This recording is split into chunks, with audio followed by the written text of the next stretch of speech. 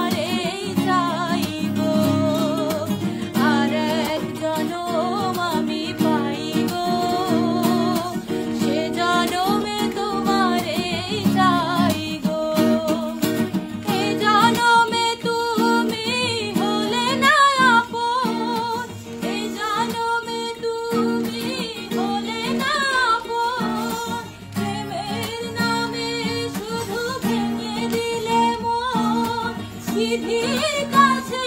সবই